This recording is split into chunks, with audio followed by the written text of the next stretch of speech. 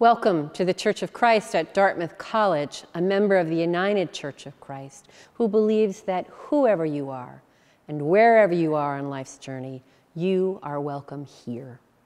In these days when here is virtual, we are so grateful that you have continued to worship with us, to support our ministry, giving positive feedback in emails and texts and on Facebook, as well as supporting financially the work of our church.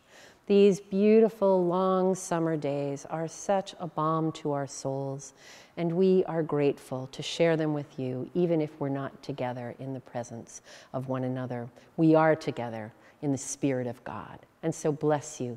May you be filled and nurtured by worship, and may you be revived and renewed to live your life with fullness and grace.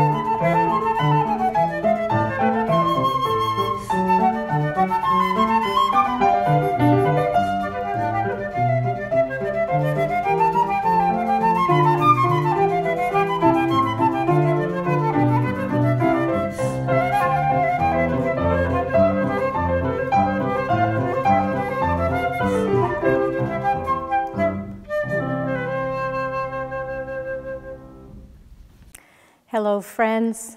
It's good to communicate with you again. Uh, so many weeks have gone by since uh, that second week in March that I am beginning to lose count. And some of the words I share with you may seem repetitive, though today I hope that they're commonplace, using the recommended precautions now more than ever as the state continues its gradual opening up of services and businesses. Do protect yourself in the best way that you know. Uh, we are hoping that given our response and the response of the state, I feel that as a state, New Hampshire has been very responsible in how we've responded to the guidelines. Continue to apply them. That is what has been yielding the good results that we have seen the state's hospitalization rate now slowing down, the frequency of infections also slowing down. So do take care. Remember that I'm always available on the phone or on email. I also offer meditation by Zoom um, every Thursday at 4 p.m., and we, you are always welcome. I look forward to hearing from you or seeing you and may you continue to enjoy good health. We are excited this week to be offering to this congregation and to churches around the state the opportunity to listen to a powerful lecture and webinar by the Reverend Jim Antal, the United Church of Christ climate minister. This will be a Zoom webinar on Wednesday, the 22nd of July at 7 o'clock, and we will be publishing the Zoom link in a special email and providing it on request to anyone who seeks it. We hope you can join us for an informative and up to date message on the power of churches to have an impact on climate change.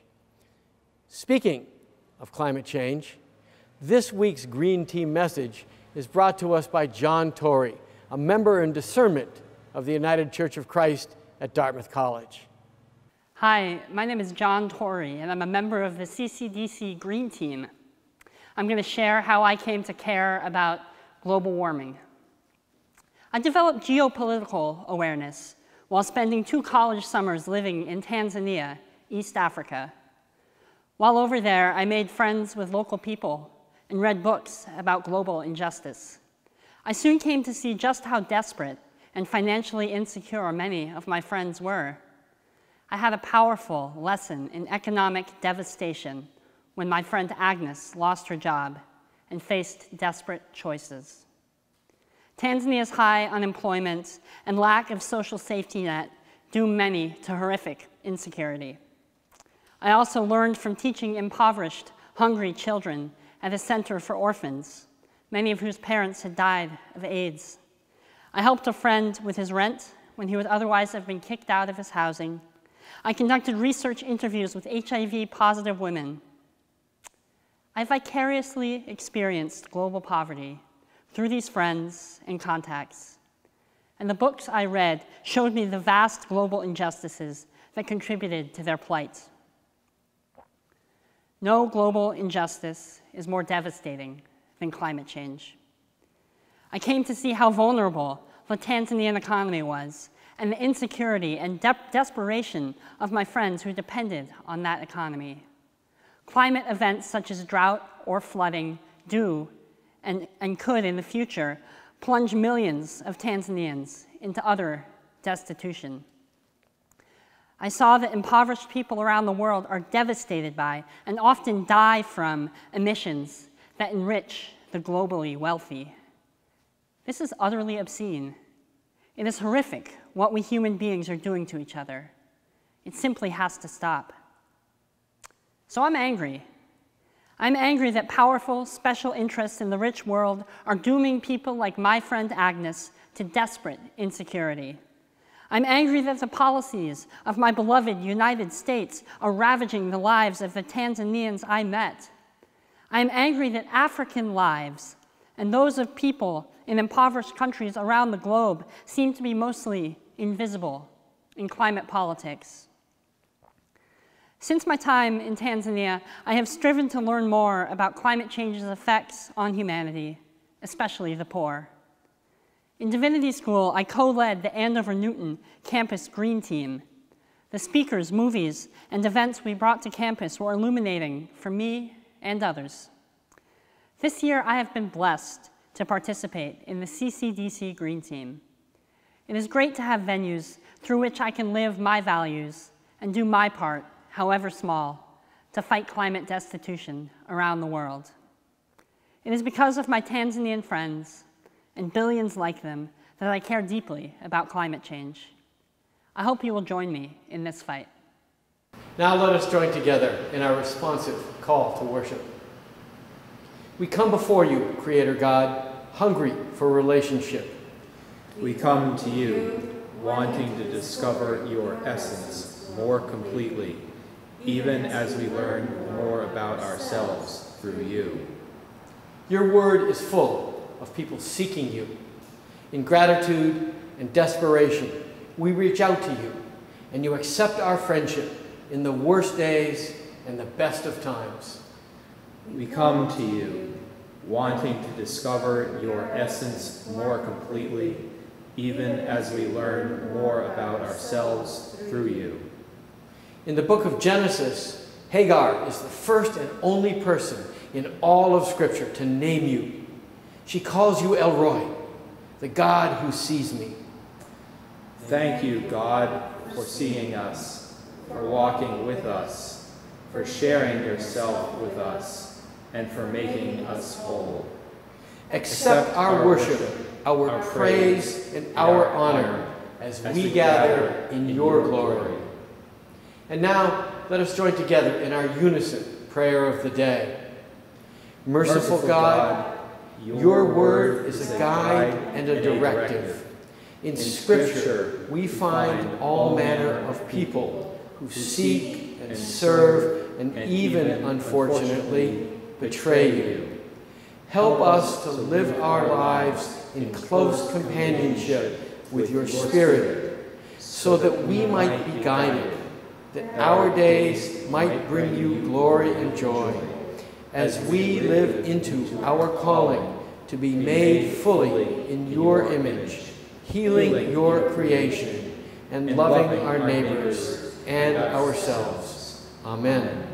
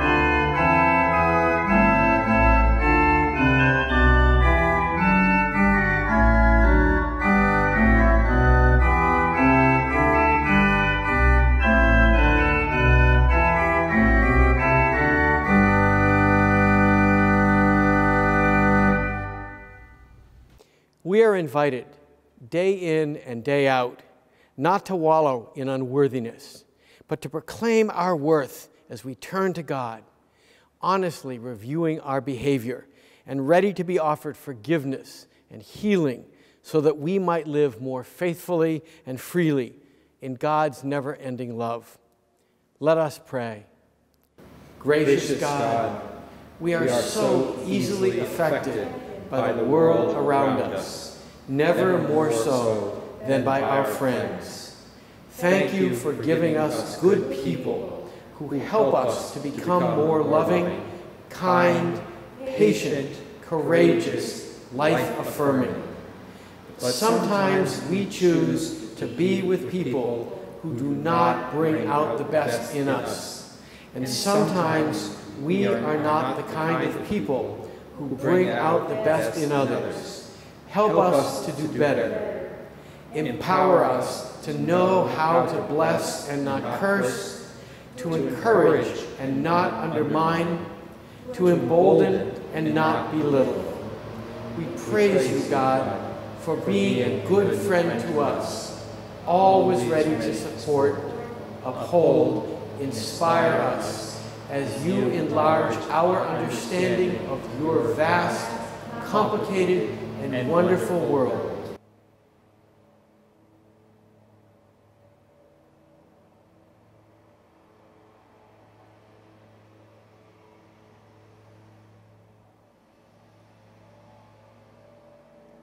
Scripture tells us God did not send the divine child into the world to condemn the world, but to save the world. We have been given this gift of renewal and forgiveness and hope so that we can participate in the healing of the world and of ourselves. Thanks be to God. In Jesus Christ, we find new life and grace abundant. Amen and amen.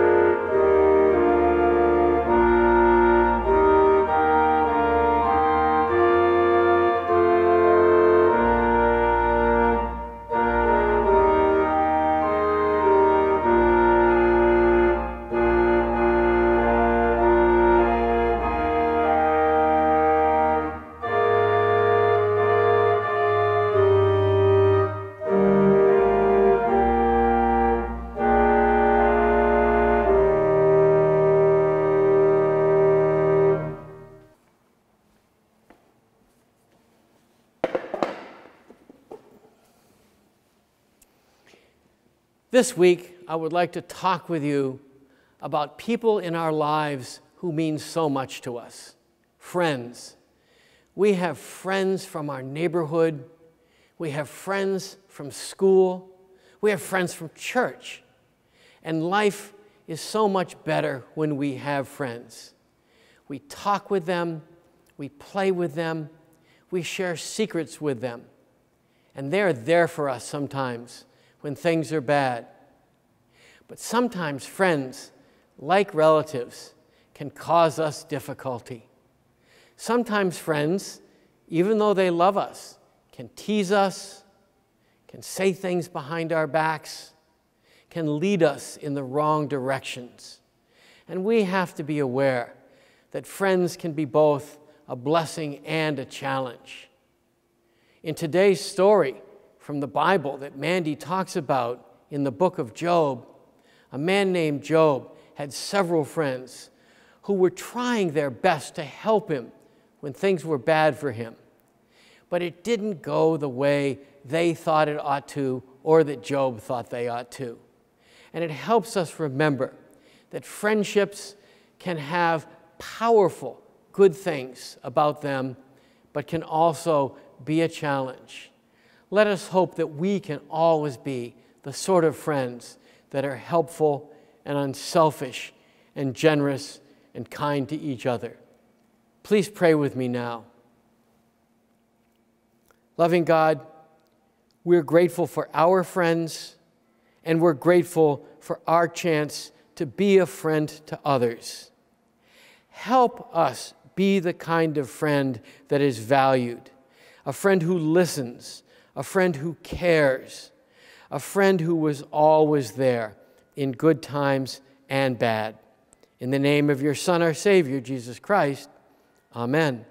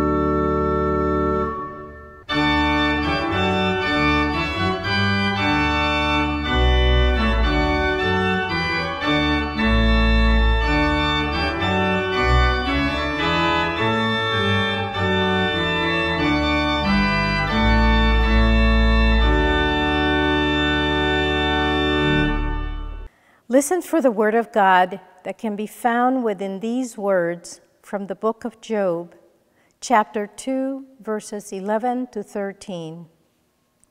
Now, when Job's three friends heard of all these troubles that had come upon him, each of them set out from his home. Eliphaz the Temanite, Bildad the Shuhite, and Zophar the Naamathite. They met together to go and console and comfort him. When they saw him from a distance, they did not recognize him, and they raised their voices and wept aloud. They tore their robes and threw dust in the air upon their heads. They sat with him on the ground seven days and seven nights and no one spoke a word to him, for they saw that his suffering was very great. May God bless our hearing and our understanding of these words. Hear the words of our tradition found in Psalm 55, verses 12 to 14, and verses 20 and 21. Listen for their power and truth. It is not enemies who taunt me. I could bear that it is not adversaries who deal insolent with me. I could hide from them. But it is you, my equal, my companion, my familiar friend, with whom I kept pleasant company. We walked in the house of God with the throng. My companion laid hands on a friend and violated a covenant with me, with speech smoother than butter, but with a heart set on war, with words that were softer than oil, but in fact were drawn swords. Hear these words spoken by Jesus, the Son of God, found in the Gospel of John, chapter 15, verse 13. No one has greater love than this to lay down one's life for one's friends. May God bless our hearing and our understanding. Last week, we began our new sermon series on the book of Job. We looked at who Job is and observed that this scriptural text is a morality tale created to address the issue of human suffering. It comes from a subset of scriptures called the wisdom literature, which, in addition to the book of Job, includes the books of Psalms, Proverbs, Ecclesiastes, and the Song of Solomon. Threaded throughout these writings is the difficult question about why an all loving, all good, all powerful God allows human suffering to occur. In reality, ultimately, there is no satisfactory answer to this logical problem of human suffering, given who we understand God to be. But the amount of biblical and extra biblical literature in the Judeo Christian tradition, as well as many other ancient and modern texts, show us that humanity seems not to be willing to give up on the quest to reconcile God's goodness in the face of human pain. We keep trying to figure this problem out, hoping that if we keep mulling it, talking about it, and wondering about it, we might see our way through to a satisfactory answer. We may not be able to solve the problem of evil in the world, but given that we are all in relationship with others, and that every single one of us experiences pain in our lives, sometimes profound tragedies, and sometimes lighter but annoying difficulties, we would do well to consider how to accompany others and how we'd like to be kept company when we are suffering, even if we can't come to a successful intellectual understanding of why this happens in God's good world. In the very early part of the book of Job, he loses everything that he values livestock, servants, all of his sons and daughters. And still, Job praises God. Next, in the unfolding parable, Job is struck by a terrible skin ailment, one that covers him with loathsome sores from the bottom, the soles of his feet, to the crown of his head. And he sits scratching himself with a broken piece of pottery in an ash heap. It can't get more dismal than this which is in part how wisdom literature works. The scenes are painted so extremely, so dire, that we can't miss the point that the person in pain is devastated. Today's text sees three of Job's friends come right after these initial horrible experiences to support him in his agony. And they begin in the best of all possible ways silently. Today's text, we see three of Job's friends, and we're told that they sit with him on the ground seven days and seven nights, and no one speaks a word to him, for they see that his suffering is very great. Unfortunately, their wisdom, their gentleness doesn't continue. Job, mindful of their presence perhaps, or maybe just because he has a need to rail out, begins to speak. And although he does not curse God, he does curse the day that he himself was born. He does so in fluid and evocative poetry, reminding us that his parents may have loved one another, but that their coupling was ill gotten. He points out that kings and princes may have accomplished much, but that they one day will die and will find rest, and that that is all that Job wants as well to be at rest, to be at ease. And he believes that the only way that he can experience this is through death. He ends his rant saying that he is undone because the thing that I feared has come upon me, and what I dreaded befalls me. I am not at ease, nor am I quiet. I have no rest, but trouble comes. The friends have done a good job supporting Job while he remained silent. They were either dumbstruck by his grief or wise enough to not try to make it better, for as long as Job himself didn't talk, neither did they. But as soon as Job put his pain into words and cried out that all life seemed fruitless and hopeless, as soon as he offered up the pain he was in verbally, they felt the need to correct and corral and control him. I had expected to deal with all of the conversations of Job's friends today in this one sermon, but there is too much to cover, and so our series will extend a few extra weeks. Today we'll look at the speech of the first friend, Eliphaz, the Temanite, who we're told answers Job. So we ought to be tipped off that things aren't going to go well by the very fact that he answers Job's railing rather than supports or comfort or simply allows Job to share what he needs to share. He begins by reminding Job that he himself has served as a counselor and a comforter to others. Behold, you have instructed many, Job, and you have strengthened the weak hands. Your words have upheld him who was stumbling. You have made firm the knees of the feeble. By which Eliphaz means that Job is well aware that suffering occurs in human life.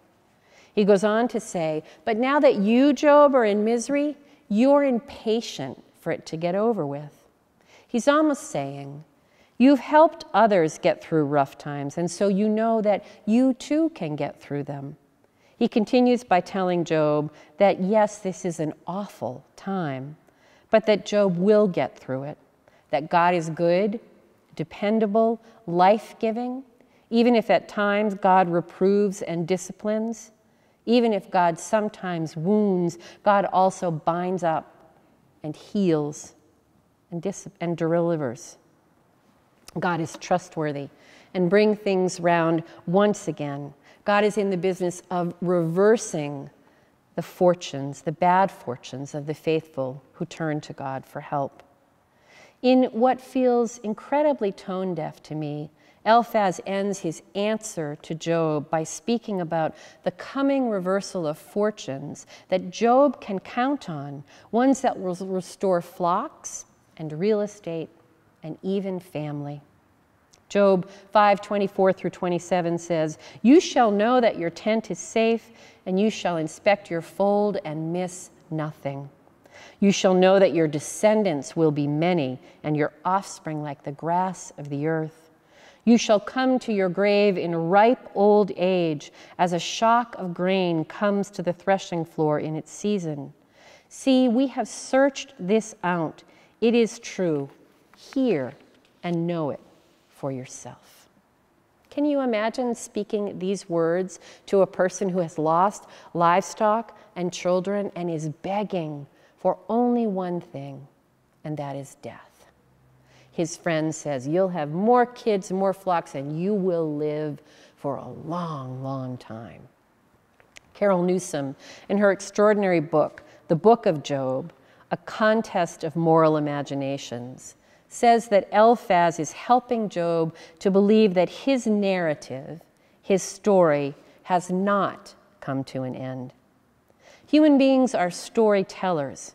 We depend upon them to make sense of the world and to encourage us when our own stories seem to have lost the thread. Job is currently telling himself a narrative about his life that says that the only good thing that could happen to him now would be for him to die. Job is begging God to bring him to the peaceful non existence of death. Eliphaz tells Job, this, Job, this is not the end that God, even if God is punishing Job now, is able to make things better. Although Eliphaz's intentions are good, they are ill timed and disrespectful of what Job has lost and what he is feeling at the time. It's like the person who says, How old was your mother when she died? Oh, that's not such a loss. She lived a good long life. Or it's like the person who says, You can have other children to the couple who are devastated by their recent miscarriage. It's like the person who says, Things always work out for you. You'll get another job, find another house to buy, another person to love. These things may, in fact, be true, but the old job, the not completed sale of the house, the divorced spouse, the lost child, the deceased parent will never be replaced, never not missed, never not matter.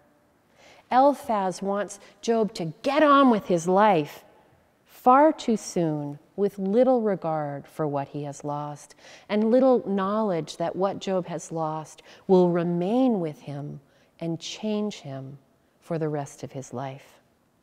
When my son was attending college in Florida, he served on a water based search and rescue team that, in addition to helping inexperienced local and tourist sailors, or students who'd run out of gas with a boat they'd checked out of the boat library that his college had, also provided rescue and recovery in the vicinity of a nearby bridge, which boasted the fourth most likely place for people to attempt suicide in the entire nation.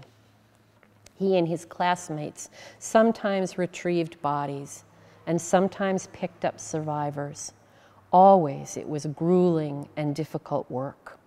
They had wonderful support in place. They had chaplains and psychologists, and the kids talked and were coached about how to understand what they'd experienced. Nevertheless, it was taxing and hard for them. One time, my son Caleb texted me saying that he needed to talk. Was I free? Now, although we were in regular contact, it was usually through texting and email, and so I knew that if he wanted to talk, he was struggling. I called immediately. What's up? I asked. I didn't go on this rescue mission, he said, Mom, but my team mates did, and they are a wreck. I know that you deal with death in your work, and I need to know how to support them through dealing with the awful case that they experienced today. Now, I won't traumatize you with the specifics of what happened that was far and above what they usually encountered, but it was horrific. I said to him that when I am faced with a tragedy, I have an order in how I proceed in the midst of these situations. I try to remember to simply be present in the beginning, to speak as little as possible, unless the person is asking lots of questions, and then I try to only address what they are bringing up. I am there simply to accompany them, to put my arm around their shoulders, to get a cold glass of water, to have tissues, and to let them get out whatever it is they may need to share, or to be silent if that is what is most comforting to them. Much like Job's friends who sat in silence and kept him company without needing him to get on with it or to pull himself up by his bootstraps. Silence is often the best way to be with someone in the beginning of a tragedy. As time goes on, sometimes days, sometimes weeks, I might begin to ask questions or make suggestions gentle ones meant to remind them to eat or sleep or rest or even recreate.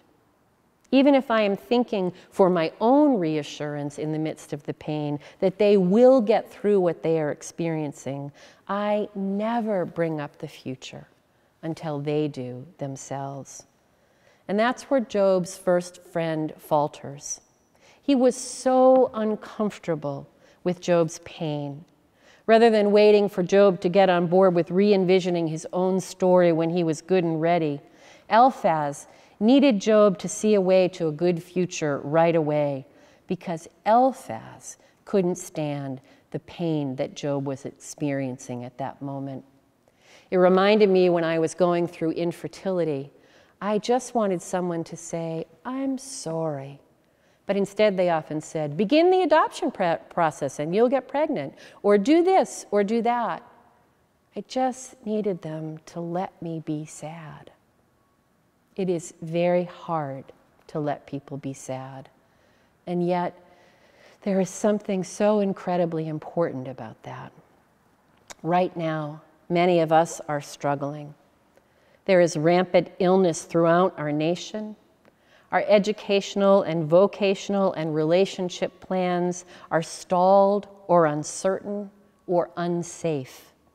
Our nation is only, also finally addressing our unjust and racist societal patterns and behaviors. We're approaching an unprecedentedly volatile and chaotic election season in which, no matter the outcome, significant portions of the country will feel cheated, unheard, and angry. If ever our personal and national and global narrative were disrupted, it is now. And just like with Eliphaz, who wanted Job to walk back into his happy story, it is tempting to try to say, everything's going to be okay.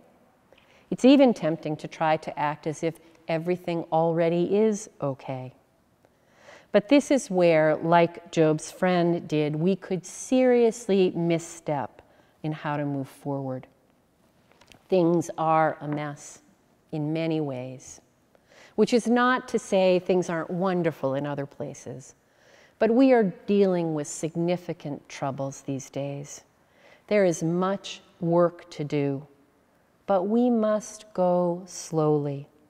We must grieve and evaluate and examine how we got where we are now, environmentally, societally, politically, racially, economically.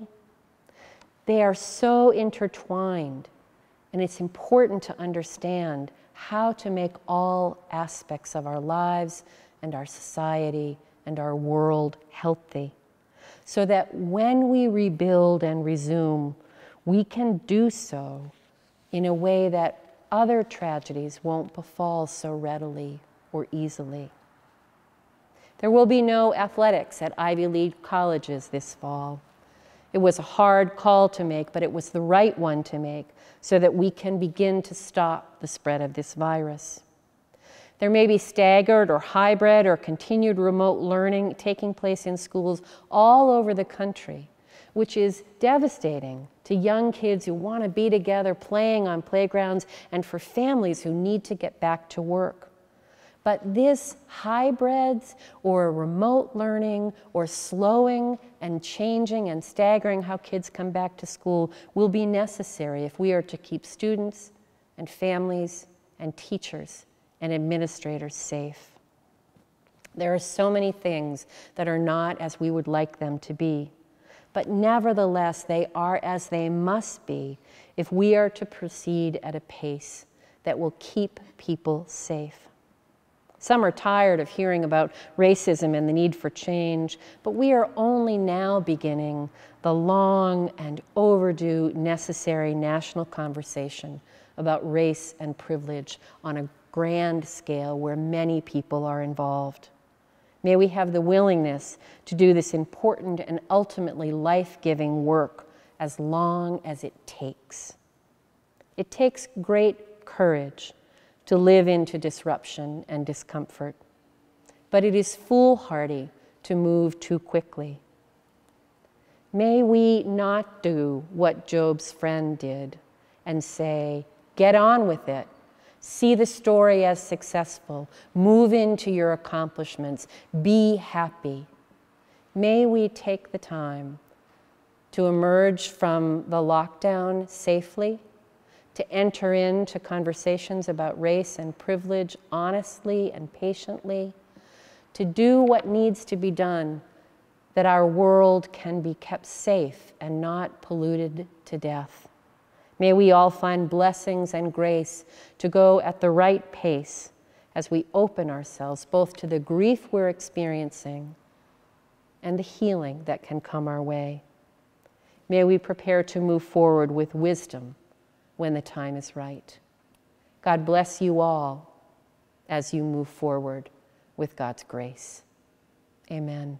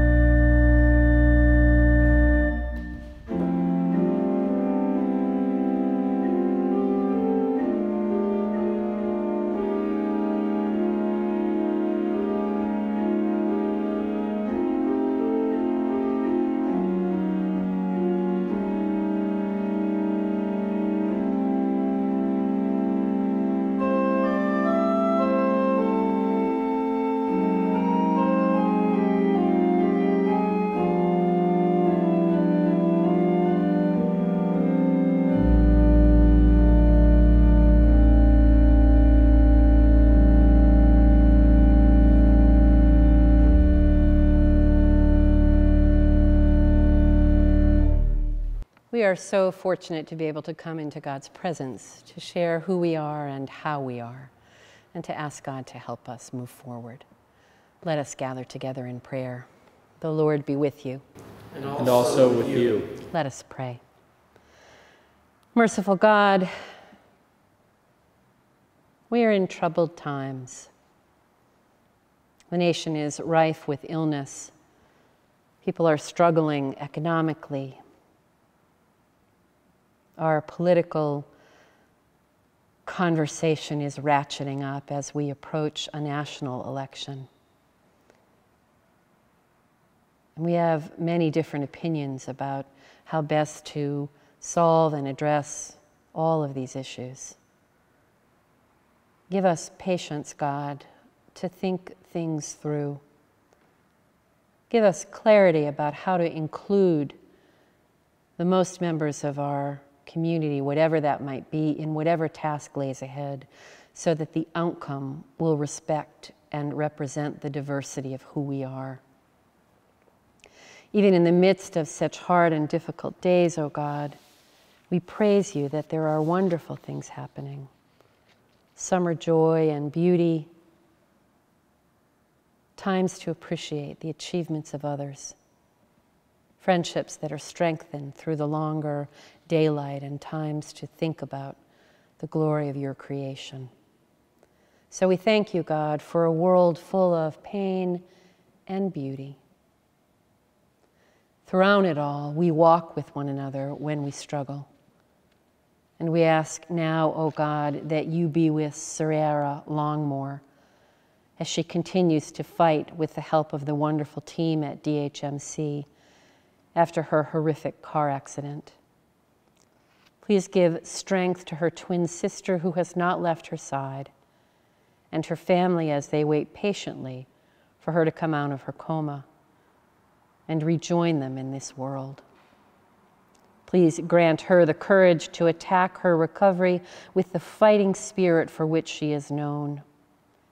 Dear God, she is one of your precious children with so much to offer this world in her long life yet to live. We thank you for her health and recovery. We pray that you support all those who are upholding her. Thank you, God, for bringing us together in concern about Sierra. We bring before you all the people whose names we don't know who are wrestling with long and debilitating recoveries. Family members who are eagerly waiting to see the spark of their loved one revived. We ask, O oh God, that you be present in our nation as those who are contracting the coronavirus multiply in extraordinary ways. Help us, God, to get a handle on this and to diminish the illness that surrounds us. And be with those who are struggling with other health concerns. Help them to know your peace, to feel your presence, and to experience your healing touch. God, we open our lives to you, asking that you guide and direct us, that we might be fully your people blessing your creation wholly and walking together.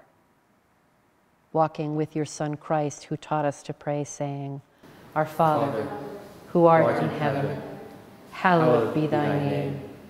Thy kingdom come, thy will be done, on earth as it is in heaven. Give us this day our daily bread, and forgive us our sins, as we forgive those who sin against us and lead us not into temptation, but deliver us from evil.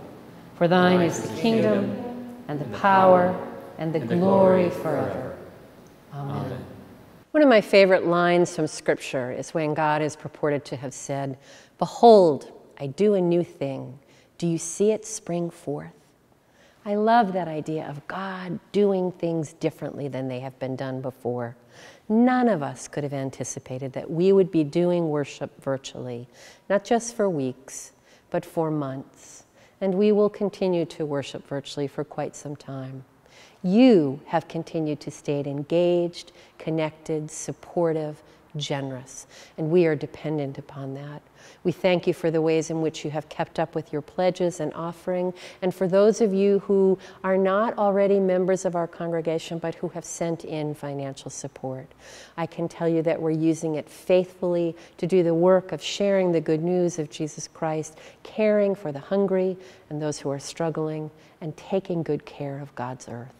So thank you for supporting this ministry. Please continue to do so so that we can continue to share the good news of God's love.